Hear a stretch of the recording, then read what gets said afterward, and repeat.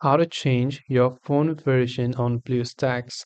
If you want to change the version of your phone model on BlueStacks app, it's actually quite simple. Now, BlueStack is an Android emulator, and you can actually choose the emulator or the phone model that you might have on your emulator. After you open the BlueStacks like this, we have to access its settings.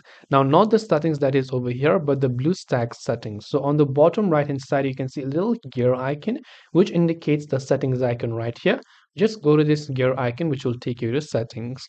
From settings over here you can see one of the option that says is devices. Now you can go to this devices tab and here you can see a couple of options. But if you don't see it i would recommend you go to the phone option right here when you go to the phone option, you can see I can choose a predefined profile. Currently, it is selected as S22 Ultra Galaxy, but I can select Xiaomi 11T Pro, Galaxy S21 Ultra, or S20 Plus. There will be different ones.